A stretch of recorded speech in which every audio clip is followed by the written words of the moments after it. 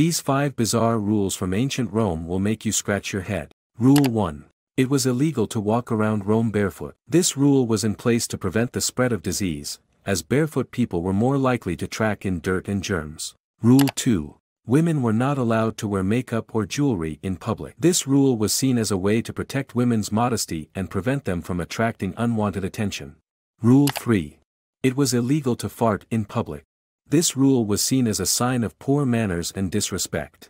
If someone was caught farting in public, they could be fined or even imprisoned. Rule 4. It was illegal to climb the Capitoline Hill wearing a hat. This rule was seen as a way to show respect for the gods and the city of Rome. Rule 5. It was illegal to kill a goose in Rome.